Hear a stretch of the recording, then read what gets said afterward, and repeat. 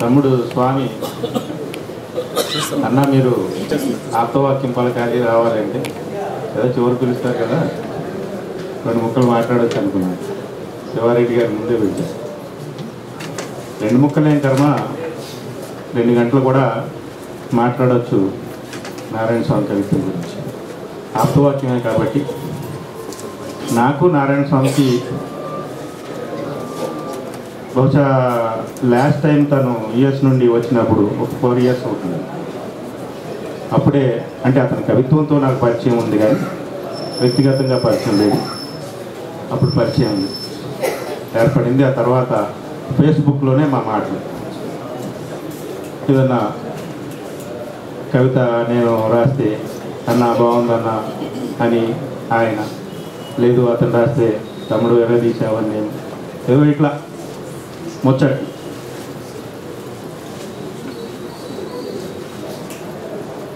ఇప్పుడు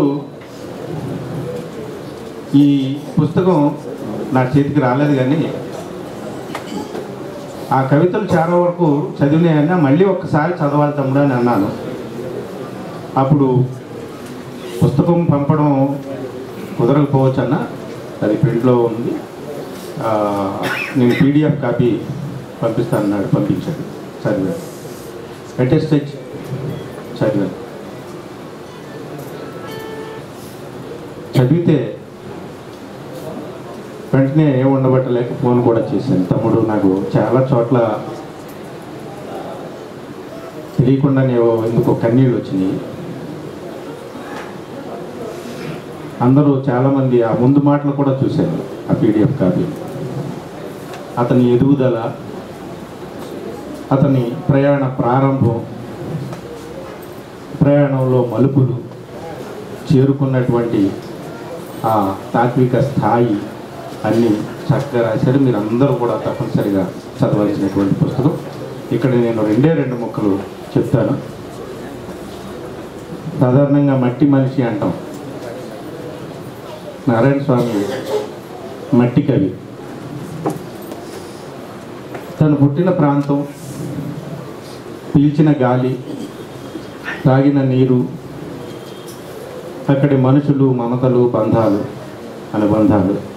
ఇవన్నీ నాకు తెలిసి సాధారణంగా ఒక స్థాయికి వచ్చినటువంటి కవులలో కనిపించేటటువంటి వస్తువులే.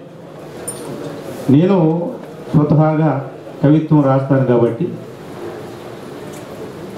సాధారణంగా కొంచెం భావజాలంలో దగ్గరగా ఉన్నవాళ్ళం కాబట్టి ఆ వస్తువులు కూడా ఇంచుమించు ఒకటే అవుతుంటాయి. నాది ఆగస్టు ఫస్ట్ నా రిలీజ్ కావాల్సి ఉంది బుక్. కొంచెం లేట్ అయింది. తమ్ముడు ముందు వచ్చేసాడు. రిలీజ్ అయింది బొమ్మ. ఒక కవిగా నేను ఎట్లా చదువుకున్నానంటే రోహిత్ మీద నేను కూడా రాశాను. స్వామి ఎట్లా రాశాడు? లేదా నాన్న మీద? అమ్మ మీద. అక్కడికి నేను వేస్తున్న పుస్తకంలో నా భార్య మీద నేను రాసుకున్న కవిత కూడా ఉంది బహుమానం. మరవాడు కూడా ఒకటి అందులో ఒకటి ఎప్పుడో మై ఓ మైకేల్ అని ఒక కవిత రాశా. అమెరికాలో ఒక నిగ్రో యువకుడిని చంపి అతను రాశా. ఈ ఈ సామీప్యత బహుశా ఈ సమకాలీన కవుల్లో ఉంటుంది.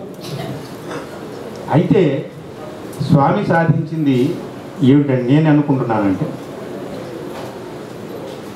ఇప్పుడు ఈ కాలం రెండు వేల పదహారు ఆగస్టు ఇరవై మూడవ తేదీన నేను నా కవిత్వాన్ని పరుస్తున్నాను కదా అందరి ముందు.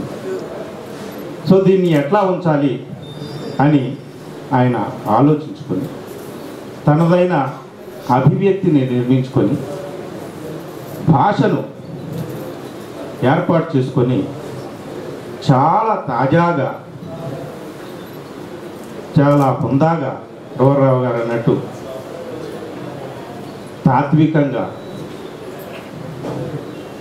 పదులుగా అద్భుతంగా మన ముందుంచాడు ఇదే కాదు ఇంకొక అడుగు ముందుకెళ్ళి భాష ఇక్కడ ఒక చిన్న అబ్జర్వేషన్ బహుశా అది కరెక్టో కాదు తెలియదు కానీ ఉనికిని తమ అస్తిత్వాన్ని మాది ఇదే అని చెప్పుకోవడం కోసం భాషని కృతకంగా వాడుతున్నటువంటి కొందరు మిత్రులను చూశారు. కానీ నారాయణ స్వామి కవిత్వం ఇప్పుడు ఈ తాజా సంపుటిలో ఆద్యంతము నేను రెండు మూడు సార్లు చదివిన తర్వాత అనిపించింది ఏ ఒక్క మాట కూడా ఇది కావాలని ఇక్కడ ఆ భాషను వాడినట్టుగా అనిపించింది. అది అది అలా వచ్చింది. అతని ఆవేదన నుండి తన ఆకాంక్షల నుండి తన భావోద్వేగం నుండి తన స్వప్నాల నుండి ఎక్కడో దూరంగా అమెరికాలో ఉన్న తన మట్టి కోసం చేసిన ఆ పలవరింతల నుండి కలవరింతల నుండి ఆ భాష అలా తన్నుకొచ్చింది అనిపిస్తుంది. వానొస్తుందా అన్న ఒక్క మాట దగ్గరే నేను నీరైపోయాను. వాన వస్తుందా అన్నదానికి వాన వస్తుందా అన్నదానికి ఎంత తేడా ఉందో మీరు గమనిస్తే ఈ మొత్తం పుస్తకంలో నారాయణ స్వామి యొక్క విశిష్టత ఏంటో ఇప్పుడు ఏం సాధించాడో మనకు అర్థమవుతుంది. అమ్మ ఎక్కడికి వెళ్ళిందో తెలియని చిన్నపిల్లవాడు అమ్మ వస్తుందా అంటే ఏం చెప్తాడు ఈ ప్రపంచానికి కాస్త శాంతి వస్తుందా? ఈ ఒంటికి ఇంత కొనుక్కు వస్తుందా? ఈ కంటికి ఇంత కల వస్తుందా? ఈ మానవాళికి సుఖం వస్తుందా మనం కలగంటున్నటువంటి ఎప్పటికైనా అది ప్రాప్తిస్తుందా? ఎన్నెన్నో ఆ ఒక్క మాటలో నేను ఎన్నెన్నో ఊహించుకొని ఊహించుకొని ఊహించుకొని తన్మయం చెంది తట్టుకోలేక అతనికి ఫోన్ చేసి అభినందించాను. అందరూ అన్నట్టుగా తమ్ముడు స్వామి చాలా అద్భుతమైనటువంటి ఒక శిఖరాయమానమైనటువంటి ఎక్స్ప్రెషన్తో ఇప్పుడు మన ముందుకు వచ్చాడు ఇక ముందు ముందు ఇంకా అద్భుతంగా మరిన్ని కవితా సంపుటాలతో మరింత నూతనంగా ఆయన ఈ ప్రపంచం ముందు ప్రత్యక్షం అవుతాడని ఆకాంక్షిస్తున్నాను నమ్ముతున్నాను. కొంచెం పెద్దవాడిగా ఆశీర్వదిస్తున్నాను కూడా. Thank you very much